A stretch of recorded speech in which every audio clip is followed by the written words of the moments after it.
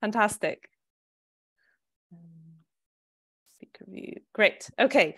Well, so welcome everyone to the, the fifth event in the Pasture for Life winter webinar series.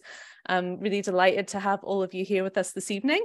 Um, I'm Clem Sanderson. I'm the Scotland Regional Facilitator for Pasture for Life. Uh, so I work with farmers and butchers and restaurateurs and all the all people that are interested in in pasture fed uh, meat and dairy up in Scotland um, and do quite a lot of the supporting networking and skills sharing in Scotland. And I also have a particular interest in goats because I'm trying to set up um, some urban farming in Glasgow uh, with native breed goats. So this is just a brilliant excuse to get two uh, lovely speakers to to tell us all more about what they're doing and hopefully share knowledge amongst all the people um, here in the in the room this evening as well because a lot of you already keep goats too so we really welcome this as an open space to share ideas and questions and please feel free to use the chat for that um, and do ask questions throughout and I'll come to them at the end the format for this evening will be um, after this little brief introduction, uh, Ruth Dalton is going to speak about um, her system, pasture fed goat system in Cumbria. Uh, and then we'll have Adam Short talking about what he's doing with Old English goats down in Devon. Um, and after that, we'll have plenty of time for Q&A and a bit of discussion and, and sharing knowledge. So that's the plan for this evening. Um, and I just also wanted to um, introduce a little bit of a global context just briefly, uh, because John Meadley, who is uh, one of the founders of Pasture for Life, um, chaired a, a, webinar back in 2021 at Oxford Real, Com Oxford Real Farming Conference. Um, and it was really fascinating. It was called Goats, the Hidden Transformers.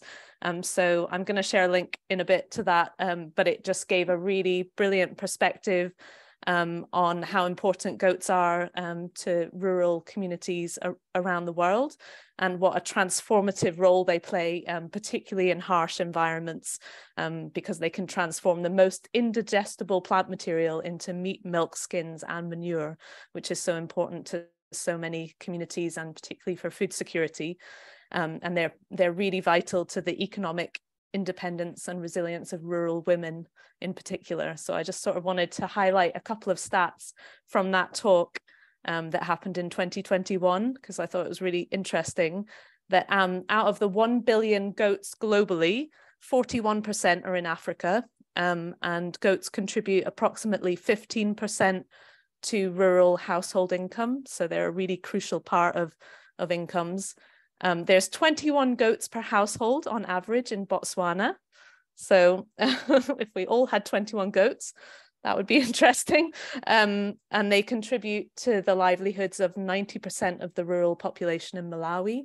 So all these stats are from Farm Africa, who do a lot of work um, supporting uh, rural rural development and rural livelihoods. Um, and so I'll, I'll, share I'll share a link to that webinar. But I thought it was a good um, way to get into thinking about goats in a UK context to just think more globally about how important they are. Um, so yeah, without further ado, um, I will pass over to Ruth, who's going to kick us off talking about her golden Guernseys. Um, so yeah. Hello, thank you, Clem. Let me try and do the screen sharing thing without messing it up. So hopefully if I hit that button there, it will go to the full slide. Can everybody, the people that have got their videos on, can someone give me a thumbs up or a nod or something if you can see that? Yep. Yay, thank you. That's brilliant. Thanks. So um, yes, I was delighted to be asked by Clem to do a double act with Adam on this presentation, but I do feel a little bit of a fraud. We haven't had goats uh, for an incredibly long time, only about four or five years. And so there'll be people on this call with much more goat experience than me. Um, I've been really delighted by having them. And although we thought long and hard about getting them, and it was several years of a process of a thought process before we actually found the goats we wanted. We were prepared for it not to work in our system. We are very low input as i'll explain and i just thought they might be a lot of work and not really suit our system. So i'll explain how that all went on and um, let you know how it how it how it went. So just to give the context of our farm um, just about where the words the farm are that patch of land there there's about 60 acres of scrub and it was very brackeny, uh, sort of what we would call here in Cumbria low fell. So I'm in the South Lakes, so southern um, Cumbria and quite near Kendal. So what we did on the farm uh, when we first came here is we were very keen to transform uh, one big piece of land that was very brackeny and scrubby, uh, keep the scrub element, plant some more trees where obviously wanted to be woodland, but also restore the grassland. So the picture that should have come up on your screen, that's a little bit of land that absolutely isn't mowable, but we were very determined to turn it into a more species rich grassland. And that got a lot of attention from us. And it has now become a really beautiful, sort of like an upland hay meadow assemblage of, of wildflower species. And gradually on all the other pastures, we've fed species rich hay and we've done various things to try and get the diversity back. So we're really managing our farm for wildlife. My partner works for Cumbria Wildlife Trust so he's really on the habitat side and I'm more on the livestock side. We've also got a beautiful wetland right at the bottom of our land. Um, the bits that are the edges and the bits that are ignored by more intensive farming often are the, are the parts where you get a lot of species diversity remaining and we've got a really great assemblage of species in there. So what we did when we came, you can see this was taken in 2011 and it shows some of the new tree tube plantings and the, uh, the start of a hedge there just looking that's looking west on our land. And then this was about 10 years later. So i think a really great photo to show that it doesn't take ages for trees to grow. And you know if you're thinking of tree planting and thinking oh i'll never see it in my lifetime um, as many of you will know it's surprisingly fast. Um, and so we because we'd fenced off a lot of woodland areas We'd created little pastures in between. We've got lots of edge habitat, which is where loads of threatened species and unthreatened species, a lot of wildlife likes to live on the edge. But also a lot of the things you don't want when you fence off woodland, like very dense bramble encroaching into pastures, started to be a little bit of a problem in our sheep and cattle based system. So these are the livestock that we've got. Our main enterprise is Shetland cattle. They're a small relatively hardy breed from the Shetland Islands. They're dual purpose, which I really like the dual purpose breeds. A lot of them are rare now because farming specialised itself into meat and dairy, but these dual purpose breeds have so much to offer. They rear a really good uh, calf or lamb or um, goat kid. They're suitable for low input systems. And at the end of the day, beef that you get from an animal that can also give you dairy is the most environmentally sustainable beef you can eat. So we don't milk our cows, although we could, um, but we wanted to complement the cattle and the small number of sheep that we've got as well with something that would just rotate around our pastures, possibly before or possibly after our other stock, and eat back the scrub up to the woodland edge and also something that could utilise this amazing habitat and food source that we had in our fenced off woodlands. So they were deer fenced, deer couldn't get in anymore. And to maintain sort of uh, mosaic of habitats in the wood as the trees got up, we really wanted to put something in there that could eat the bramble, eat the lower stories, sort of put put animals in there in the winter time just to kind of keep the diversity going in those otherwise fenced from all stock areas. So that's what we wanted our goats for. We wanted them to be something we could sell as a product off the farm. We sell um, our cattle as breeding females and as meat in meat boxes, and we sell the sheep mainly as meat in meat boxes. So with the goats, I wanted a breed that was a native British breed. At the time, the only two breeds that were on the RBST watch list that were recognised uh, were the Golden Guernsey and the Bagot. And we chose the Golden Guernsey. We wanted to support a rare breed. Um, and now, through loads of work by Adam and other people, we've got more breeds on the watch list. So maybe my breed choice might have been a little bit different if there'd been more to choose from. So I'll be really interested to hear Adam's talk. We went with the Golden Guernsey. They're a high value animal. There's a lot of demand for Golden Guernseys. So I was confident that we'd be able to sell breeding stock. I was also confident that the wethers would finish a little bit like primitive sheep on our low input system, probably at about 18 months old and there was that chance that we would also be able to milk the nanny. So i thought they ticked a lot of boxes. It's really weird not being able to see anyone. I'm like oh ask questions as we go along. But i guess clem's going to cover that at the end. You're doing great ruth. It's all good. So i think i've sort of covered why goats um, we wanted them for this scrub bashing role. We have absolutely loads of gorse. Now gorse is an incredible food stuff when they've done analysis on gorse they found it's got the protein value of oats So when you see animals nibbling at it and think, oh my God, what are they doing? Uh, they've actually got a, a, good sense to them to, to eat that thing. And um, we just wanted to make use of the scrub that we've got. We, we wanted animals that would thrive on that system as I said, we were quite concerned about, oh, oh yeah, wanted to talk about willow. So also when we first came here, we planted quite a lot of biomass willow because we thought that was another crop that we could sell from the farm. It would provide really rapid shelter. We were we face kind of southwest, half of our farm faces southwest straight into the, the prevailing wind So when we first came here, we planted up quite a few willow beds. And knowing that we wanted to keep what was intent usually kept relatively intensively in small areas and fed lots of inputs. Goats, I was sort of familiar with most people keeping goats on small acreages. And I knew I wanted to keep them on really big areas and not feed them a lot. I thought they would fit well with our willow production because we could make tree hay and also have willow as an early food source in the spring when maybe the grass hadn't got going. Because we're quite a late spring here, it can be May before the grass really gets going. So that's just to show some of the biomass willow stacked up for sale. And also willow, as I'm sure loads of people know, it's brilliant if you've got something poorly and um, when they won't eat anything else, they usually eat some willow. So the Guernseys I knew were quite a docile breed, although some of our land is deer fenced around the woodland blocks. Most of it is just normal stock net, you know, stock net with a line of barb at the top. Um, and we also have quite a lot of stone walls. And I can attest that a normal stock net will keep a golden Guernsey in absolutely no problem. A stone wall will not. stone wall is basically a plaything for a goat. They think, oh, great, we'll just hop on here and get over.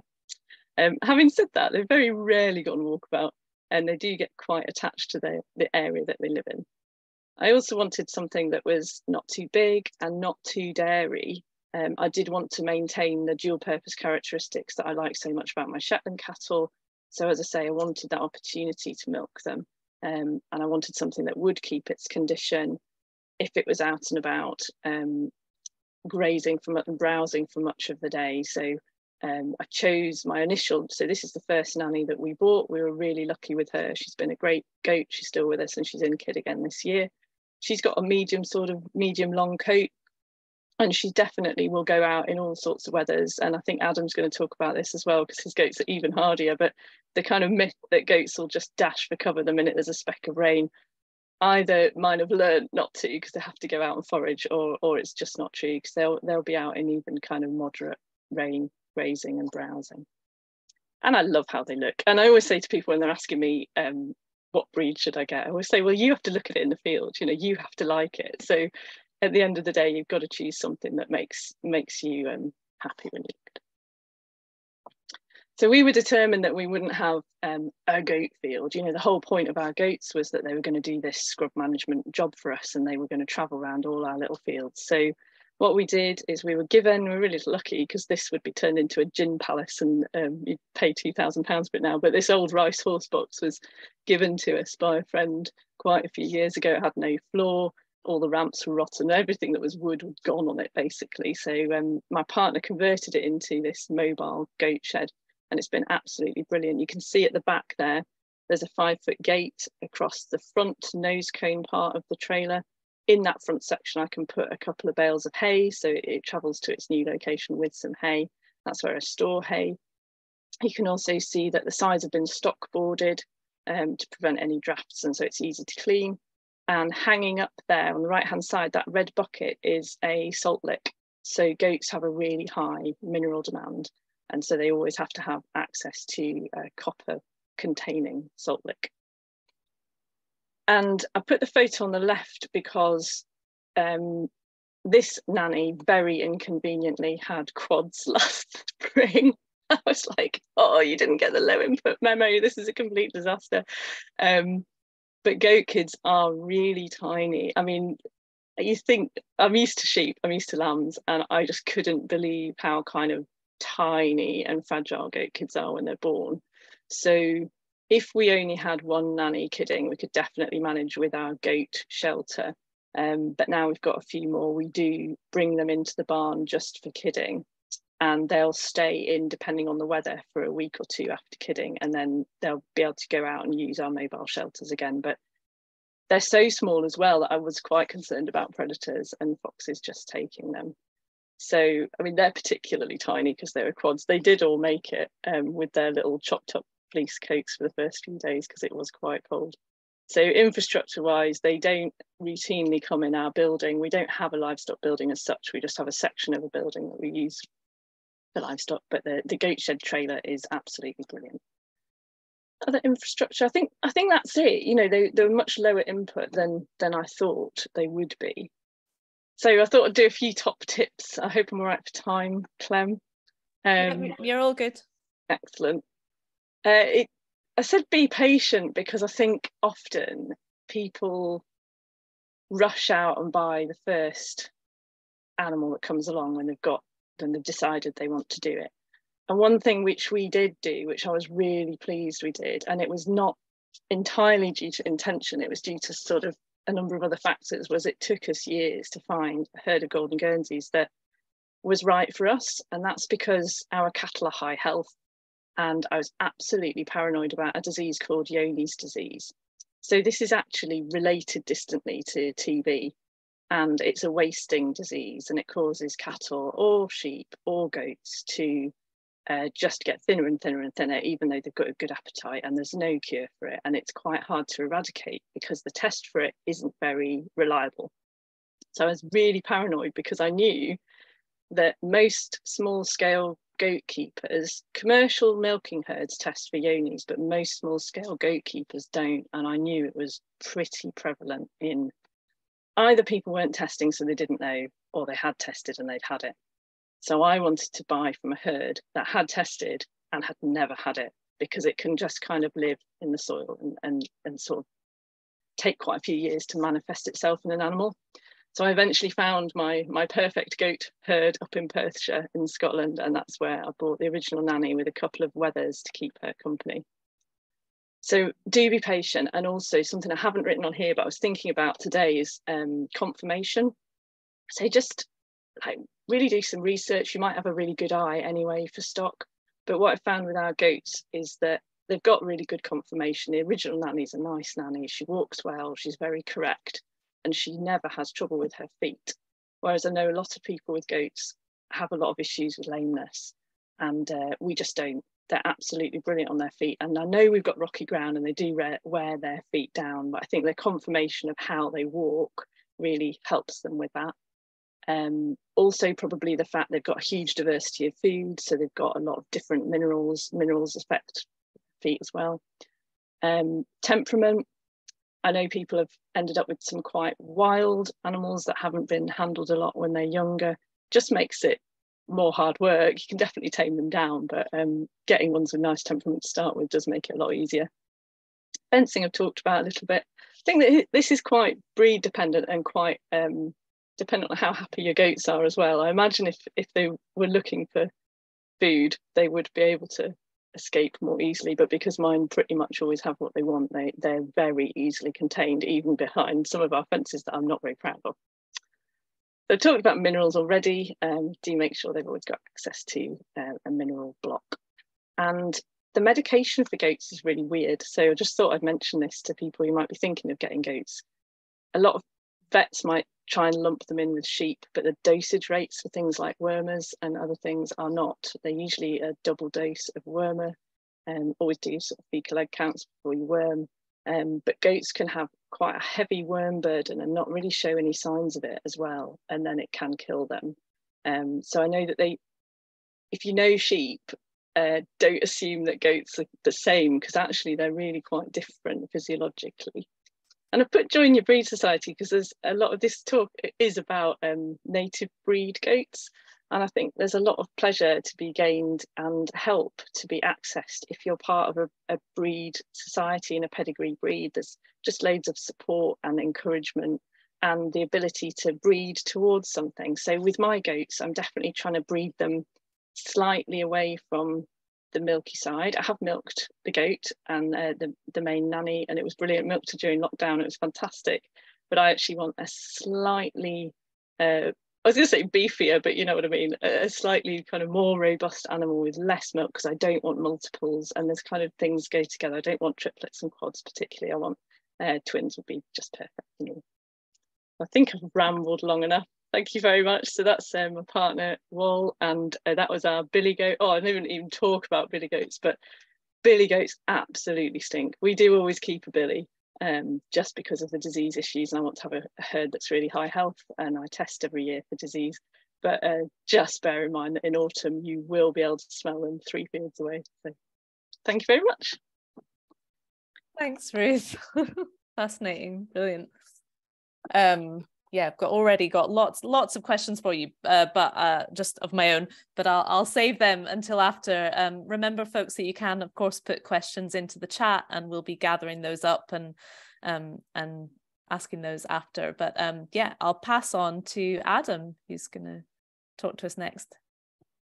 Thank you very much. Right, let's try and do the IT bit. I should be able to manage this, shouldn't I? Um, Perfect. Great. You see that okay? Yep.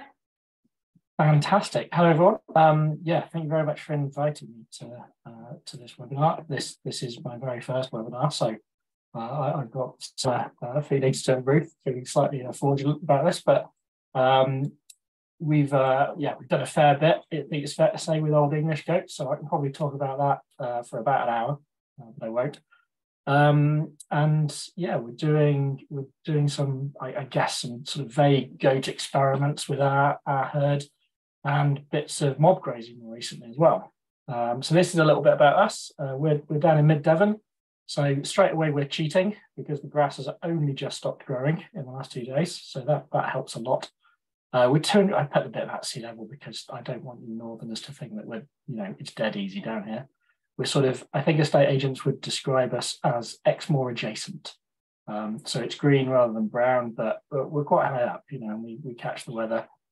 Um, 26 acres, so we're not massive, but um, again, we, we sort of, we cheated a little bit when we got this place. Um, but the last really 50 years that anybody in the village can remember, uh, the entire place has just been taken for a late crop of hay, sort of August, September time. So we we pretty much for no effort inherited species rich, uh, lovely, uh, acidic wildflower meadows uh, and had to do nothing. So uh, yeah, apologies for anybody struggling to transition to that point.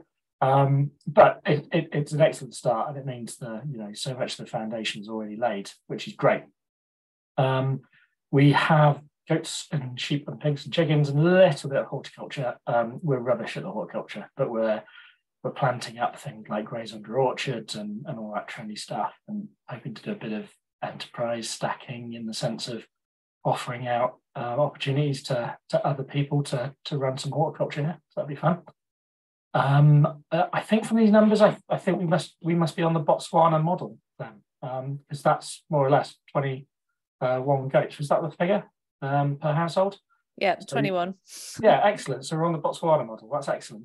Uh, we have a lot of billies here, um, largely because I'm the registrar for the Breed Society, and I kind of feel it's it's my job, if nobody else is, to uh, to sort of offer a bit of genetic diversity, at least down in the south uh, of the country, and we we try and get a few places around the country to do that.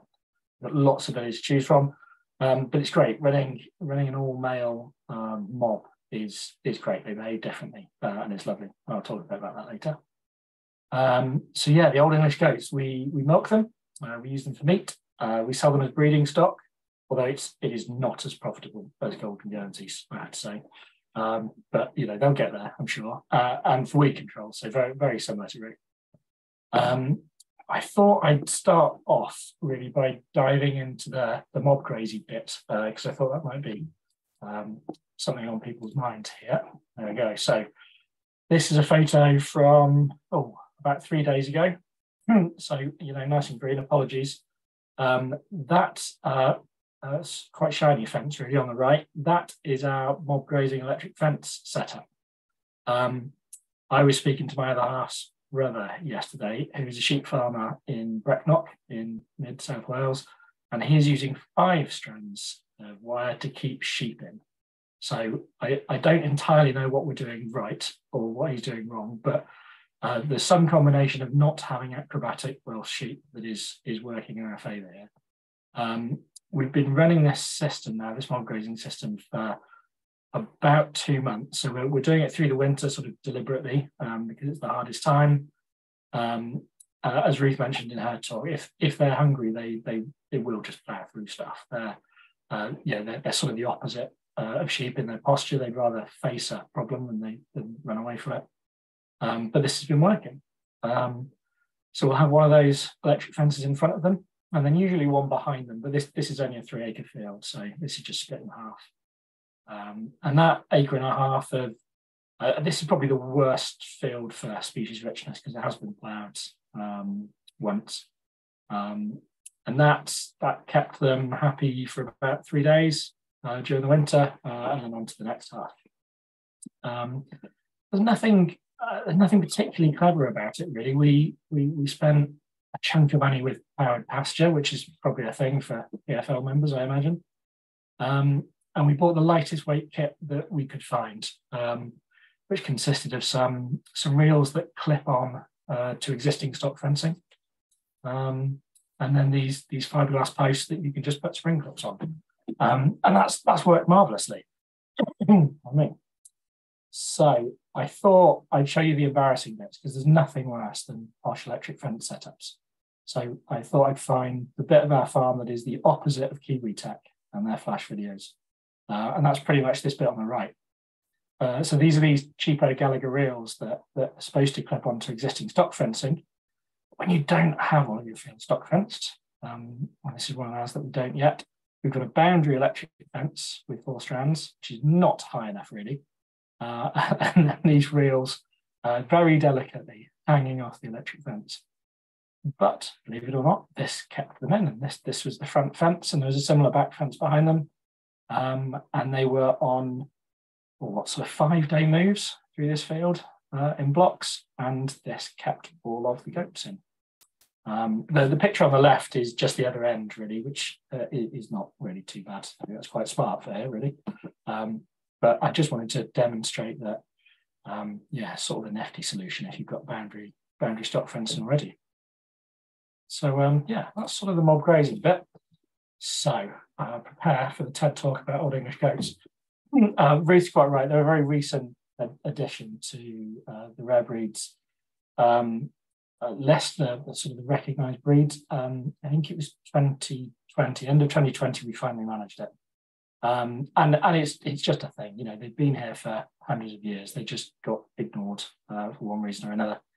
Um, that's the current population stats. So there's not many of them still. That is the main challenge, and that's why there's not uh, more of them about, and why they're not, uh, you know, talked about more, I suppose.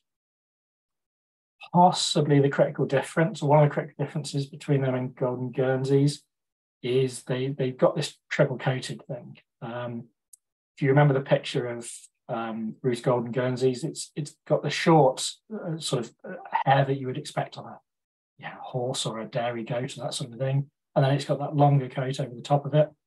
Um, the Old English uh, all should have a cashmere layer as well.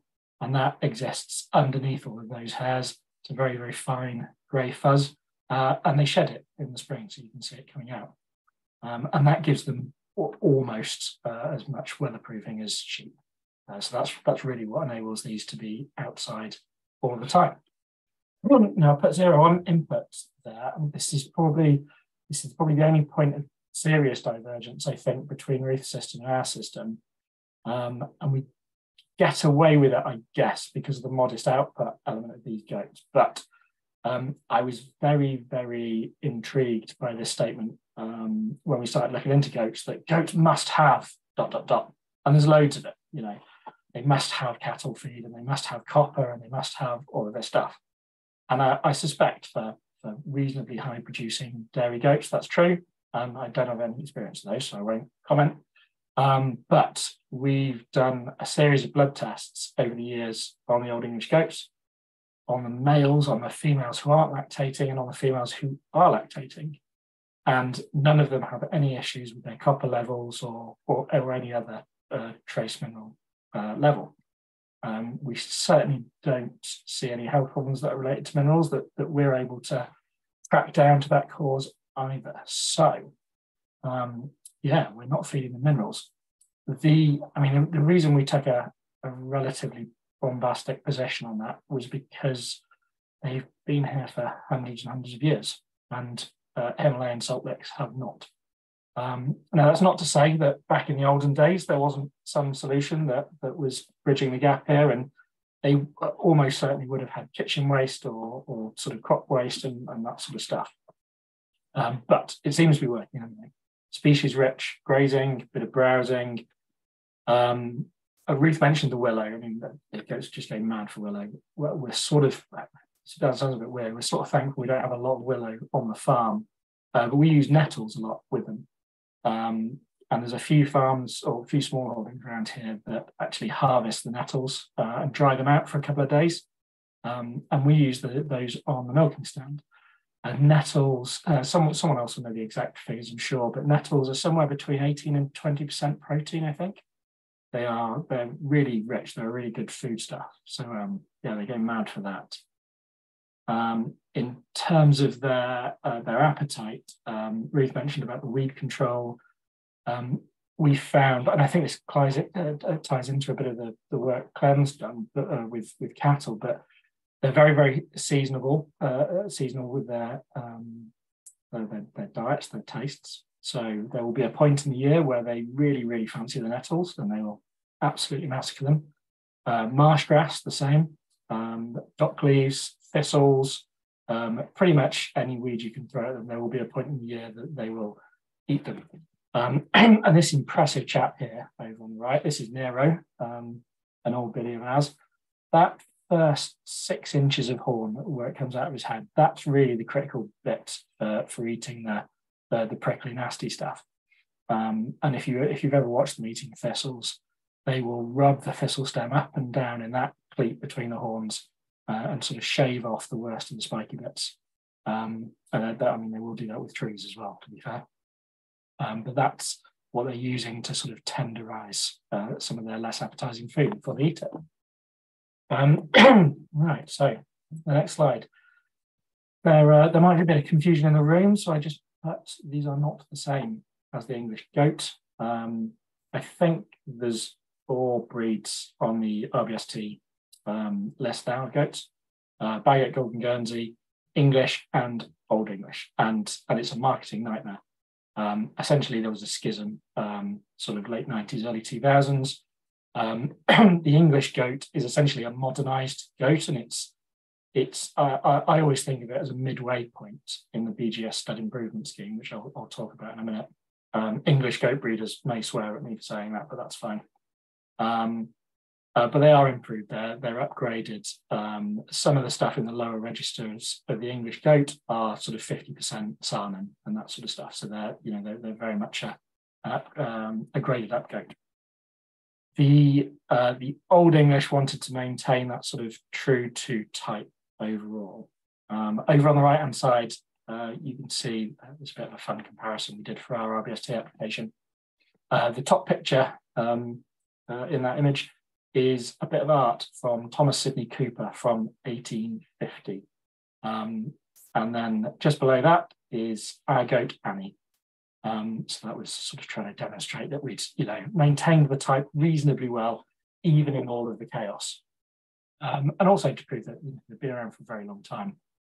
Before 1850, um, there were no, well, pretty much there were no other goats in the country. Um, you would have had the odd sort of ship's goats and things in port towns.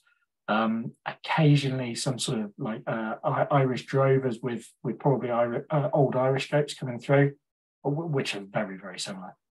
Um, but mostly, uh, you know, by and large, they would have been this goat. And then, sort of 1870s, 1880s onwards, there was the import, slow import of, of the Swiss goats and the Nubian goats.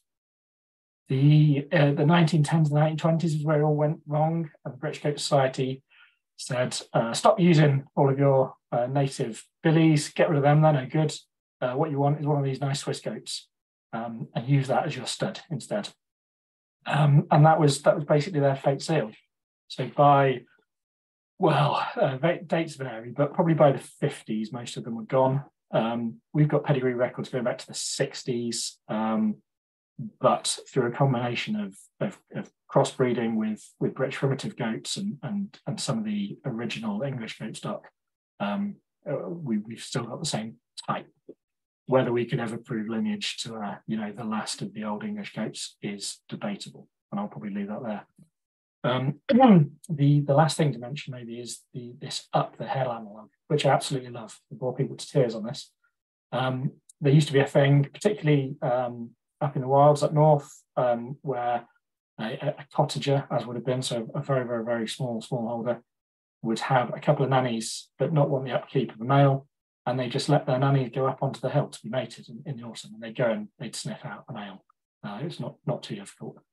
Um, we try and main, uh, retain that up the hill animal by occasionally using a British primitive male. There's a few stocks around the UK, and we're, we're part of a DNA project at the moment to, to really nail this down, but certainly the Cheviot Hills up in Northumberland was a population um, of goats that we suspect have been untouched for hundreds of years um, in terms of you know foreign breeds uh, getting in there. So occasionally we'll use one of those uh, for, for specific purposes, and that sort of mirrors that up the hill behaviour. So this is this is maybe the meaty bit for some of you. so we do um, we do dairy with our goats. I mean, I hesitate to say that because some of you have got lots of goats and proper dairy setups. Um, we, this is the most uncomfortable dairying setup that you could envisage. Um, uh, and again, very much like the electric fencing horror show. That's why I've included it. Uh, this evolves year on year, and we've we've finally got the plans for um, a goat dairy so that we can have a bit more of a production line, but but nothing too fancy. Um, we we hand milk everything. Um, at the moment because I think hand milking five nannies is quicker than washing out a machine. But but uh, somebody may correct me on that. We, are getting to the point where the, uh, we're probably at that transition stage now, so we will probably switch to the machine at some point. Um, kid at foot uh, dairying is not massively complicated. I don't, I don't think we we wait until the kids are four weeks old, uh, so we're definitely sure that they are eating solid food if they need it. Um, and then we separate them overnight. So the mothers will go in one pen and the kids in another pen. Um, if we've got fighty mothers, we sometimes have to split uh, that situation. So the, the, kids will go in the middle in a combined pen. Um, and we, uh, yeah, we separate them overnight. We take the morning milk and everybody goes back together out in the fields in the daytime. Uh, wean the kids at 16 weeks. Um, and then that's it. And then the nanny's ours. And we're sort of building up to peak output at that point. Now, the, the, milk, the milk output varies a lot. Um, and I think this is fairly true of all breeds, really. Um, one of the reasons we settled on Old English goats as opposed to Golden Guernseys or, or anything else was because we sort of believed the hype about the milk production, uh, particularly with GGs. And then, you know, over the years, having spoken to uh, people who got them who maybe don't have uh, any any skin in the game, as it were, in selling them. Um, and and uh, you know we've got the opportunity to see some BGS figures. there are GGs out there who produce 800 grams of milk a day. Um, this is liquid milk, by the way, for any of you used to uh, measuring uh, milk solids in grams. Um, so yeah, depending on the individual, we can get between 800 grams and 1800 grams per animal which is the historic range as well. We wouldn't expect to get much more than that. We found a couple of historic entries uh, uh, really about sort of uh, about American pioneers taking English goats with them um, in the sort of late 1700s, early 1800s, who talk about five pints per day, but they are the only accounts that go as high as five points in a day. So I think three to four points per day um, is about the limit, really. Um, but that is fully in GG range as well. So there's um, there's uh, whilst they will go higher. So I, I, you know the upper limit for the old English goat is probably the limiting factor uh, in terms of anybody with a daily ambition. Um, and then we we do milk through, so uh, we don't have to keep them every year, but population being as small as it is, it's really hard to give accurate stats on that. So that's something that we're working on. Um, and yeah, I think that is about it from me. Um, the, these are the contact details, and um, yeah, I'm sure Clem's probably ready with a, a few questions or a, yeah, a little heated debate about copper maybe. Brilliant. Thanks so much, Adam. really, really fascinating. Um, yeah, I'm just going to check if we have any questions in the chat. Um, there's there's a few things been coming through. Um, uh, I think that uh, yeah, you were being asked, Adam, how many sheep, goats, and cattle do you have, and which breed of sheep? Um, I'm not sure if you said about that. Ah, well, that, that's easy. I've got no cattle. Um, okay. Cattle look big, um, and that that is the sole reason, really. Um, we we wanted to start off with a simple life and and small kit, um, and our, our occasional forays with uh, adult pigs has, has sort of taught us better on that. So yeah, no no cattle. Um, we keep 30 breeding ewes um, on, uh, breed our own replacements, and they're all white-faced woodlands because um, they're a, they're a pretty good frame, although they're a rare breed. Um, they suit us pretty well. And can you also just quickly mention where did you get your fence clips from? That was a question, a technical question. Uh, it's all for all the new stuff is powered pasture. I, I should be on commission, should I? I for sure. And and then there was quite a lot of. I mean, you've partially answered this, I think, um, Ruth, but just maybe there's a bit to explore around this question of minerals because that's something that's that's come up um, between you of uh, do we need minerals, do we not, uh, and how do you know? And um, yeah, if either of you have, well, Ruth, what what are your thoughts further on that in relation to the copper? Is that through testing, and is that a soil deficiency, or is that so Cumbria is low in copper just because we have such a high rainfall and the copper content of your soil will be affected by the underlying geology. So for example, if you're on granite, you probably won't be short of copper. There's a sort of link with that. And Penn was asking whether that's a problem if you have sheep and it really is with some breeds. So the most famous one is the North Ronaldsay, the sheep from Orkney that lives on seaweed. It has become incredibly good at extracting copper because there's next to no copper in seaweed. So you put them even on um, soil that is slightly moderately high in copper, it will kill a North Ronaldsay. So some breeds of sheep, you have to be really careful with copper. I haven't blood tested the goats, but I can tell when they haven't had their lick for a while. So I think it's a coat quality thing for me.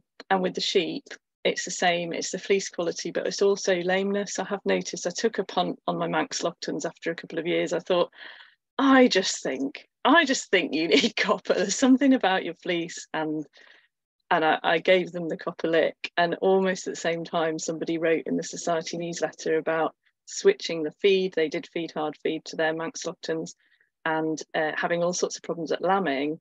And it turned out to be a copper deficiency. So it confirmed what i thought that manx do need copper but with our rare breeds there's not the research been done on them. The commercials you'll know Swaledales need copper uh, you know, Texels don't. But no one's done that kind of research with rare breeds, so it is a bit. Blood testing would definitely be the way forward. Adam, Adam's got it right. I'm just winging it. Have you got any more to say, Adam, about about minerals? Because that was fascinating to me. I, uh, yeah, that you that you're just like going a hard line on. But if they don't need it, they don't need it. But well, I mean, it, it, it's easy. It's easy to take a position, isn't it? You know, that's that's kind of everything that's wrong with the world. Um, but uh, we we you know, we, we wanted to test along the way and, and just sort of test the assumption. But, um, you know, I, I can't believe, especially with the wild herds, I can't believe they're getting massive amounts of copper. But but as, as Ruth very rightly points out, the conditions in the area are going to be a massive factor as well. We, we do do bits of soil testing and, and fodder testing here, but, you know, we've got to focus the money somewhere. So we focused it on the, the blood testing as the sort of the, the end uh, of, of the supply chain of copper, if you like.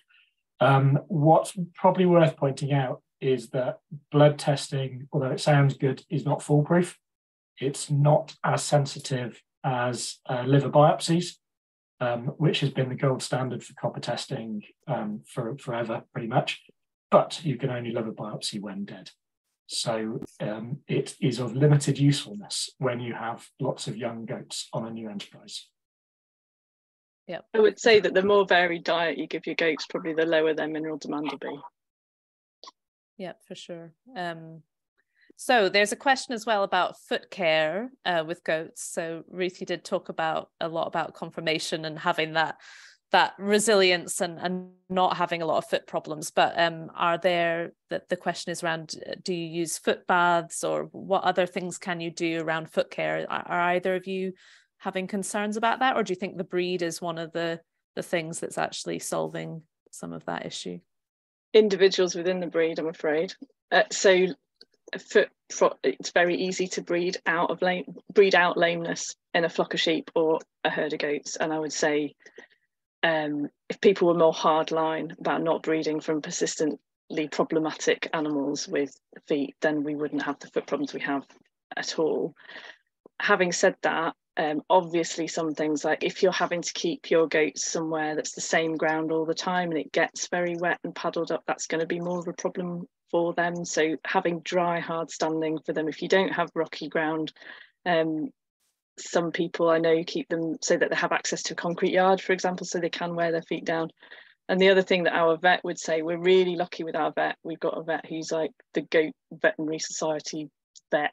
He's great, and he tells people who are um, more conventional goat keepers that just should trim little and often so not foot bath necessarily, but if you are going to trim feet, just do it regularly and a little bit. We don't really trim feet at all, but if we did have to, that's what I would do. I'm just running low on battery, so I'm going to run off and plug it in. Shall I pick up on that then as a, as a useful segue? Yeah. Um, yeah, I mean, we we we take very much the same line. It, it really is individuals. We're we're on play here in Devon, so we we don't have a lot of rock for them to, to wear their feet down, and we don't we don't let them on concrete unless it's sort of kidding time or or they're uh, being milked. Um, but we do trim, um, you know, perhaps twice a year, and it's yeah, it's just a little bit. They they will get overgrown. Um, but uh, I mean, we we take the example of the the sheep flock. Really, we started that um, six seven years ago with some ewes that we bought up at Holmfirth and and everybody knows the ewes you buy in the market are the ewes somebody else didn't want. Um, and that was very much our experience when we got them home. And within five, six years, our problems had gone down 90%, um, just because we never keep more than 10% of our um, uh, sheep, uh, of our lambs as replacements. So we, you know, we, we track it and we cull fairly hard. Um, and yeah, five years on, it's, you know, it's nearly gone what's left, mob grazing will probably fix, I suspect. Brilliant. Yeah. Any other thoughts about foot health? Just, yeah, do share ideas in the chat because there will be other people on the call that might have thoughts. Um, so another question for Adam. Um, do you feed your milking nannies any supplementary protein feed? Well, um, the nettles, as mentioned, I know it sounds a bit hippie, but yeah, they, they really are high protein. Um, when we started, um, again, it's another one of these sort of uh, line in the sand things. We thought we're not going to buy any any compound nuts of any sort for any animal. We're going to make everything from straights, and then we know it's UK produce. We know what's going in it. So we used to make them a little mix of uh, oats, barley, and peas, and a bit of seaweed flakes, maybe a bit of uh, chopped maize, something like that. Um, and they absolutely love that. They gobble that down. Uh, they, they, don't really like sugar beet, which is a bit of a pain because um, that's nice and cheap. I hate sugar, sugar beet rolls as a general rule. Um, but yeah, we, we've slowly moved away from that and fed more nettles, more you know offcuts of buddleia, um, willow if we can get hold of it, all that sort of stuff. And that's really it. We don't have to supplement them with anything. If we think something needs bringing up a little bit, um, you know, perhaps during milking, it, it tends not to be, but if it was then, we'd probably give hay before we gave anything else. Um, hay is just like crack to goats. Um, it is far tastier than anything they'll find on the ground that is fresh, uh, it seems. Ruth, what yeah, what are your thoughts? Because there was another question. I'm just trying to link up the questions, but yeah, yeah. I like, wish yeah, how, I wish how... my goats loved hay as much as yours, Adam. that thing about goats eating everything, that is the one biggest myth that I found. Got goats. I was like, they are the fussiest creatures on the planet. You know, they love apple, but if the apple piece has touched the floor, they won't eat it. I mean, they're ridiculous. So what we did quite a bit of an experiment with our goats because we have species rich hay that we're really lucky enough to get from our friends really beautiful hay meadows probably like that's why they love your hay adam because your hay is so beautiful that'll be it because they really go for that So full of wildflowers, absolutely love it. Proper nice, sweet smelling, boring, grassy meadow hay. No thanks. I'd much rather forage around in the woods. So yeah, I think I think there's hay and hay, and that they really love um, species rich hay. And one of the things I wanted to remember to say was that if your goats are looking less, you know, thinner than you'd like them to be, and you think, well, they've got that hay in the hay rack, they haven't touched it. If it's been there a few weeks, it's worth just like emptying it out and putting some fresh in because they do like fresh, freshly opened stuff. They they're designed to eat stuff out of a tree that hasn't really touched the ground. So I think there's good sense in why they are quite picky. Um, but yeah, I need to go and get some of Adam's beautiful hay, feed my goats. No, no, I completely, I completely agree. We are again, we're cheating. You know, we we we started off with a better, uh, you know, an easier crop, I suppose. But yeah, completely. That thing about them being fussy, they're basically snobs, aren't they? They'll eat a wide range of things, but my God, they're snobby about it. and Ruth, is there anything else you're doing to manage sort of calorie intake or nutrition around kidding or during pregnancy? um, you know, to, in a in a concerted way to sort of make sure they're they're getting what they need or ac- accessing certain kinds of browse or anything like that. Just saving the the biggest, nicest woodland block for the months leading up to kidding. So that's their like end of winter treat is that they get to go in this beautiful big woodland block and just have so much diversity to eat and and I think because it's quite steep as well for all our livestock they have to work quite hard to get their food really because nothing's level here. And I think that's great for problem free births because they're really fit. You know, they're really fit from climbing around and they're really, um, yeah, the musculature is really good. And so, yeah, I do just try and give them the nicest. And the same with the other animals, they tend to try and get a field saved for just before they give birth. But actually, their calorie demand is a lot more when they're in milk than when they're pregnant. So it, it's generally when you've got a nanny in milk feeding two hungry kids that you've got to watch and make sure she's getting enough into her. And that's like Adam's tactic of mob grazing. We, we're a bit more sort of rotational grazing. They might be in a field for a week or maybe two. Um, but that really helps because they have a wide variety of new fresh stuff to go at and then you're moving them on and they can go and find new fresh stuff again. And yeah just in quick response to that about the woodland block that um, somebody's just asked do, do, they what about tree damage? Obviously goats are known for yeah. uh, for the amount of damage they can do. How how do you how do you manage that and how old are the trees i guess in in those blocks? Really good question and again uh, we struck it completely lucky with our individual goats which do not bark trees so the big billy that you saw in the last picture he did so we just had to not put him in the woods but the original nanny didn't come from somewhere with a lot of woodland. She's never learnt to bark trees and she won't strip branches. Whereas my friend's golden Guernsey, it will strip all the bark off branches that you give her. So yeah, we are dead lucky. But I would say we only graze our woodland in winter or, or from autumn onwards, you know, when the leaves are coming off. They love falling leaves as well. They'll get a lot from leaves that have fallen. Um, but I would not put my goats in the woods in the spring. They would, um, you know, they would stop re- natural regeneration, which is a, what I want to happen in my woods. So, yeah. yeah. Adam, do yours bark? Because I would imagine your goats would be more effective kind of foragers than mine, really. Um, the nannies not so much, um, and the, this is where I sort of alluded to. I don't. I, I probably forgot to, to say, but the, the billies seem to have um, fairly different browsing behaviour. You, you, know, more or less, they're eating the same stuff. But um, uh, this time of year, we, we've often got them down in our sort of the old copse. It's like a defunct copse. It's a bit naff. Uh, so we're, we're, planting up other areas at the same time. Um, but but they make use of that, and it's a mix of everything. There's a bit of grass, lots of bracken, brambles, and and then a few stands of old sort of uh, hazel trees and elders, particularly. Um, and the elders are now entirely naked, um, and they have fully stripped all of the bark of them. And I, and I, think it's the headgear behaviour that that sort of top ten inches that I mentioned. It's like a razor blade. That's uh, everyone gets worried about the tips, and they they they don't care about the tips of their horns particularly. It's that it's the ten inches of razor blade at the top, um, and they just they just thrash the, the bark like a deer would um, until it peels off, and and then they take it. But yeah, the boys absolutely love it the girls sort of take it or leave it. Really, I've not seen any of them fraying. Um, some friends up the road who who keep lots of primitive things in blocks of woodland just do a simple chicken wire wrap around the bark of trees and that. Um, you know, anything that's sort of 10 years older or older, 15 years maybe, that seems to protect them. But no, we we we know that if our boys are in there, it's sacrificial. Yeah. Okay. Um, so Suhail and Kristen, who are up up north in Scotland, um, have a question around what sort of stocking rate do you recommend for the lowest possible inputs? Um, and for horned goats, um, what stock netting is best?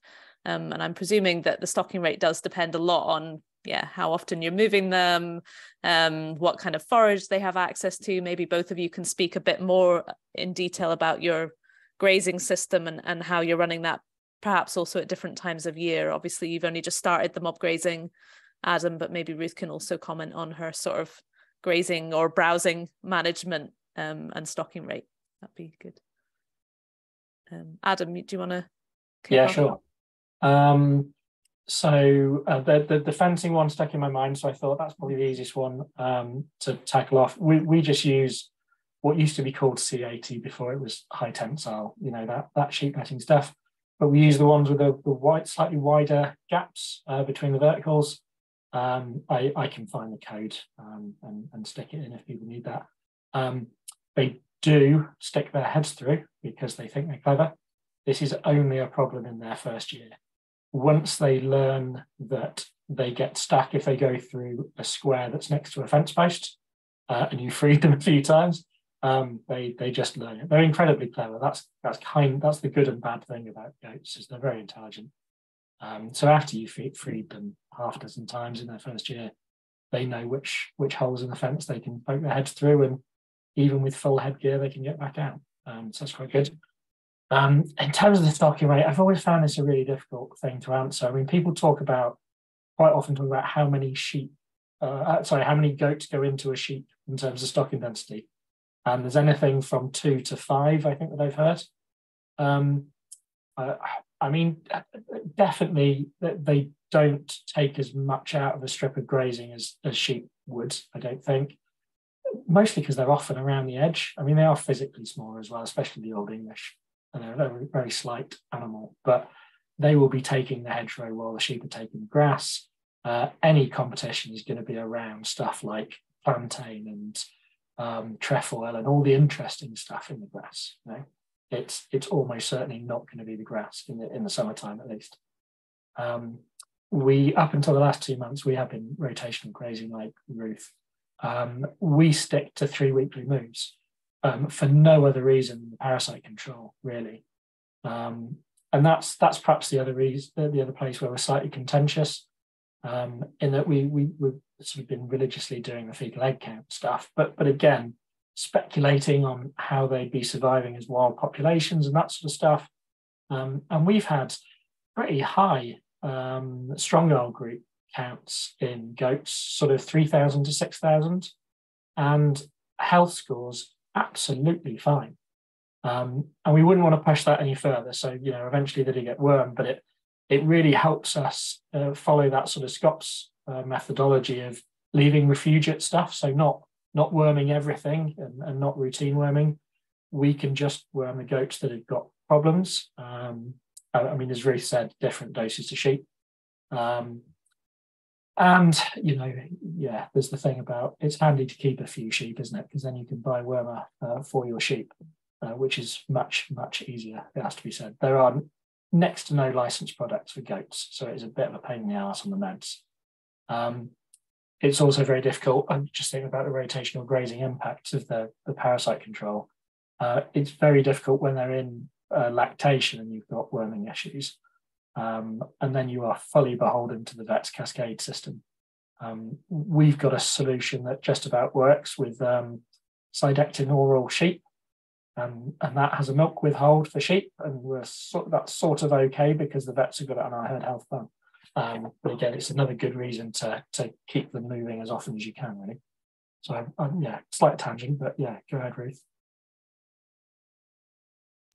Uh, yeah, we hardly worm the goats either, um, and they hardly need worming. When we have done fecal egg counts for a thin goat, it's invariably not been worms. It's been a nutrition thing that she's just um, carry, you know, they're quite a milky breed, which is why Adam's got a much sen- more sensible choice for a pasture-based system.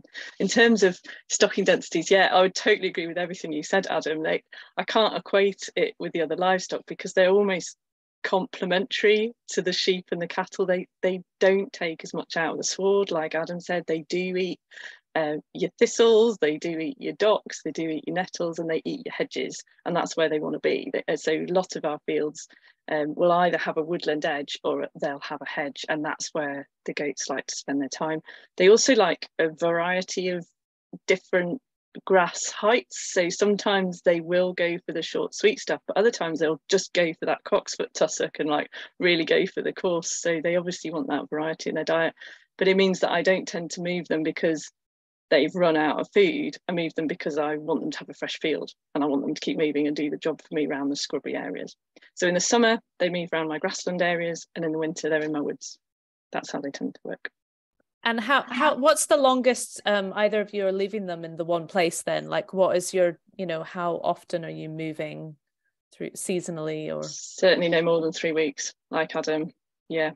They they move quite regularly but do you but do you sometimes in the sort of fat i mean is it sometimes three days or it does it totally vary throughout the year or um it wouldn't be three days because um i only have four nannies this time so in the past the most nannies i've kidded is two and so there'll be the two of them and their kids uh, so it's they're they're they're sort of incidental to my main stock they're sort of a, a tool Whereas I think if I had a herd of goats, mm. which would then trash my shelter, my mobile, I'm limited by the size of my my little mobile shelter.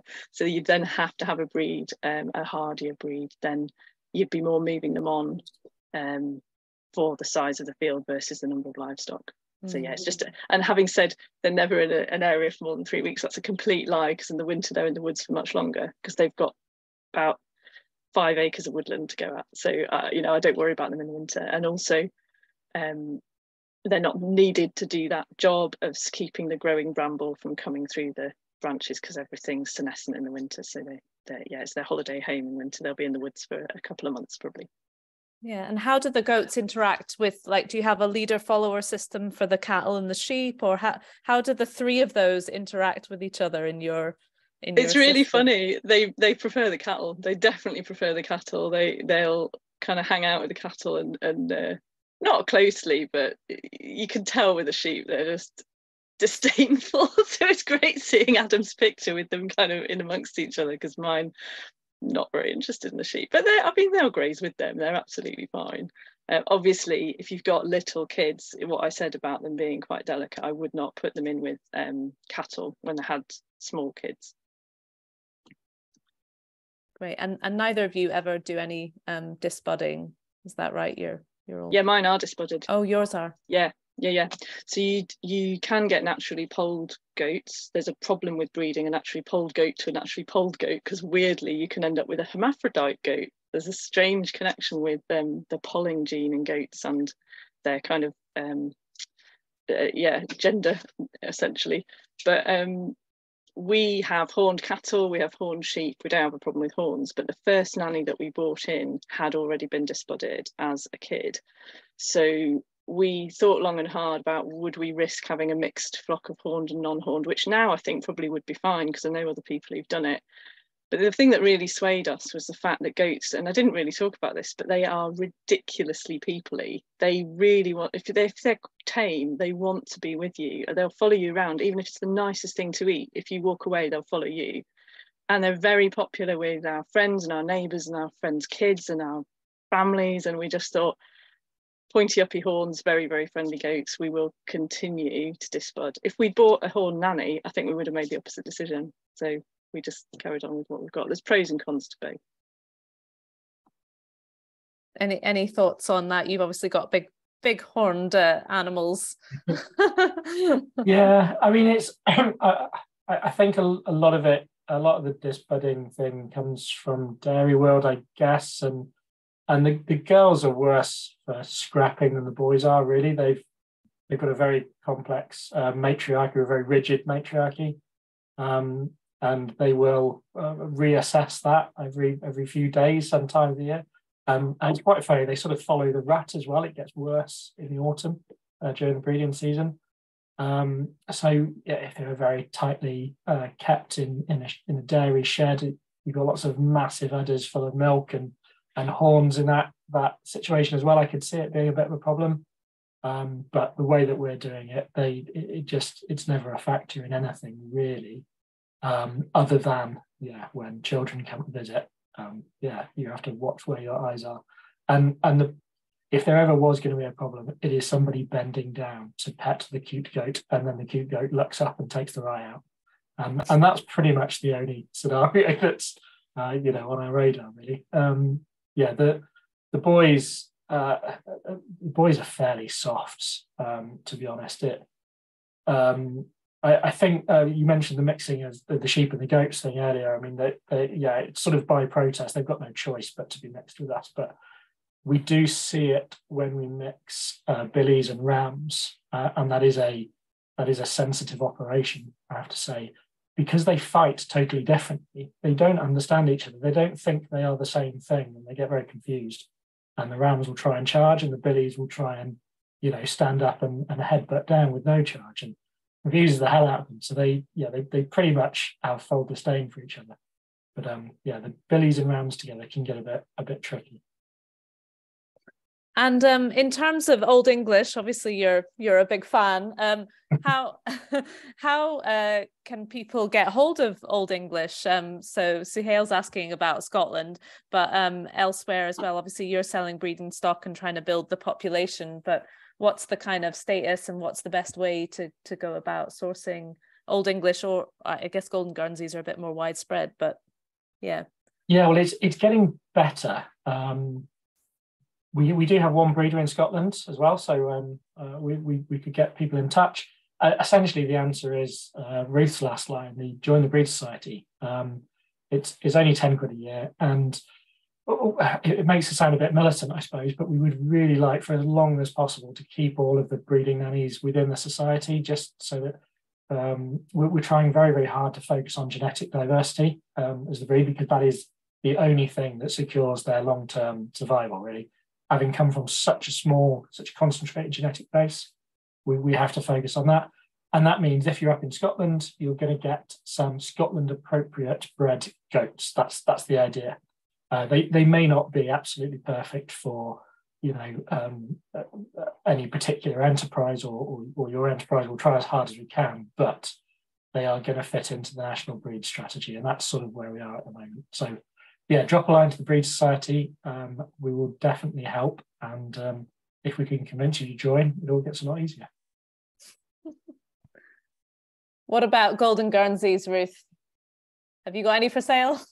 no, and I would say um, usually there's a kind of you go on a waiting list. Not, a, I mean, if somebody contacted me and said, I've got two people already waiting for nanny kids this year. So if I'm lucky, you know, I'll have more than that. But it is always really nice. The same happens with the Shetland cattle when people contact you before things are born in the spring and express their interest and you know people are really genuine and that they've thought about it and they know what they want. So it is always worth if you know of somebody or you follow them on social media and you think they're doing a similar system to what you want to do what adam said is really true. You know buying stock from a, similar system where their rumens are more adapted to the kind of forage that you might be giving them rather than from someone in a really high input system is a great idea. It's worth just making contact and kind of giving a bit of lead in really and and um, and sitting tight and waiting. I mean, it's not to say you won't be able to buy them, but again, if you join the Golden Guernsey Goat Society, a lot of people do advertise within the society first before they go any wider. So it, it's again, it's a good way to find stock and just lots of help and support and advice. They're dead friendly, really nice people. Mm-hmm. Um, there's a couple other questions. I don't know if we've kind of already covered it, but just um, well, there's a question about will they eat silage? There's also, um, you know, apart from willow and gorse, and obviously we've talked about nettles as well. Are there any other plants or trees that goats particularly like to forage on? Um, so any other thoughts about diet or or things that they like and and the silage question? Do you want to go for that, Ruth? I can't answer the silage question because we don't make silage, so I don't know. Adam, do you? I just have a suspicion about um, listeria inside. I just wonder if it's not a great idea with goats for some reason, but I'm totally, I might be imagining that. So I don't know. Um, no, I've, I've heard the same, but, but right. we're in the same boat. Yeah, no experience really. Yeah. Um, but absolutely, trees, they're pretty eclectic in their taste. You know, they'll eat all sorts of different kinds of trees and totally love them. So all your kind of native um, deciduous trees they'll go for. They'll eat a bit of Scots pine. Uh, they just love bramble, Guelder rose. If you imagine a really lovely mixed hedge, British mixed hedge, that's what they'd like to eat. Bit of hawthorn, bit of everything. Yeah, trees are their trees and bramble is their favourite thing. But someone asked about toxicity. There's a massive long list of toxic plants. Um, lots of things are supposed to be toxic to goats that ours do nibble on, like damson's supposed to be toxic and cherry. Ours definitely eat damson and cherry and they're absolutely fine. So, you know, if, it's kind of a common sense approach. But what I said in my answer in the chat for those of you that saw it is just be really careful of exotics. So stuff that isn't a UK native plant, um, especially stuff like laurel and rhododendron. This is true of sheep as well and cattle can be toxic and lethal in really small quantities. So it's your garden plants and people ignorantly chucking like garden waste over, you know, that's often kills animals because someone else has dumped their garden waste in your field. So just be careful of garden boundaries and then escaping into gardens and stuff like that. Yeah, uh, there's just a question now about Sitka and also bracken. Are both of those on on that list of sort of toxic? I reckon they could probably eat Sitka because people feed them Christmas trees, don't they, Adam? People feed their goats Christmas trees, so I think Sitka's probably fine. Um, bracken, we've got absolutely loads of. They don't touch it. Sadly, I would love my goats even more if they ate bracken, but they don't. but it wouldn't if they did nibble a bit. An animal has to eat really loads of bracken before it's toxic because it causes a vitamin B deficiency. So it has to be over a long period of time and the majority of their diet before it'll kill things. We um we actually we were sort of hoping that they would um, clear a patch of bracken uh, pretty much through you know uh, just randomly. They must eat that they eat everything else. And yeah uh, as, as Ruth says they they don't eat it. But but because we use the billy herd down there they do fray the hell out of it. So they they do a very similar job to the roller um, and and they are starting to to make it recede uh, in that patch. So uh, yeah, not through any particularly deliberate means, but um, yeah, it is working. I mean, the, the other fun thing that that we've we've seen them eat, and I only mention this because it's it's sort of exciting, um, is yew. Um, and obviously, that is the terrible. It is absolutely toxic to everything everything that's living instantly. Um, but I mean, the, the kids are the thing that escape. You know, the nannies and the billies, they don't escape. They're, they're the right size they said. Kids are absolute buggers. They will get under anything, like microscopic gaps, they will go under. Um, and it's the kids every year will nail little uh, yew saplings, and they never get very big.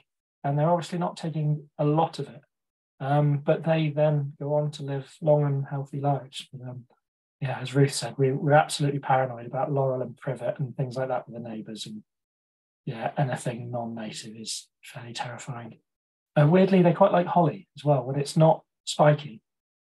Even spiky. Yeah. I had a poorly nanny once and all she would eat is holly. I was picking like armfuls of holly and she was just eating it all. And when you think it's actually really oily, isn't it? So I think it's full of calories. People used to feed it as a fodder. So yeah, holly's good. Yeah, um, and then uh, yeah, a question about um, could Old English work as a small scale commercial herd? I, am not sure if that's in relation to dairy or um, or meat. Um, but yeah, just in general around the economics of it, yeah, dairy. Um, could it work as a small scale commercial dairy herd? But also just more generally, obviously you're keeping goats for sort of specific reasons ecologically um, as part of your system or to do with uh, the breed and sort of reviving that. But in terms of commercial output and value to your business, maybe each of you could speak a bit around that, around yeah, whether it's you know it's a viable additional income or is it just a, a sideline that kind of thing i don't know. Adam do you want to talk about the commercial side of old english? Yeah sure. We're, we're very much driving in that direction to see what the commercial um, capabilities are or the, the, commercial limits of them. And we've got a plan b um, in that we've got a contact in the channel islands who's got some of the originally descended uh, GGs from the ones that were hidden in the war. Um, so that's kind of our backup plan if, if it becomes very commercial and we don't have enough production. Uh, as we've got we've got GGs in the background, but fairly fairly productive ones as well. Um, but my, my backup plan is getting some old English goats, Adam. Excellent. We should swap. um, I mean, what, what we've been doing for the last two and a half years really um, is milking them and making cheese. And, and obviously, I won't say selling raw milk because that would be illegal, but uh, yeah, for pets or something. Um, we're, we're, building up to raw milk um, sales at the farm gate. We, there's just a lot of hopes to jump through, and there's there's things to be built and dairy board to be purchased. Um, but what we've been doing is, I mean, we, we essentially wasted 18 months to two years trying to perfect goat brie. Um, and we finally did it. And we got to a point where after four weeks, there was a brie that looked like the supermarket ones did. Not very good. And after six weeks, you cut into it, the whole thing and melt over your plate. And it was absolutely beautiful. It looked perfect and it tasted vile. And uh, I think that's probably the reason people don't make goat brie. Um, that said, there, there was a few things that, that we could have done better, I think. But I, I think that's probably the commercial angle with something that's as low, uh, sort of, uh, you know, modest producing as an old English goat.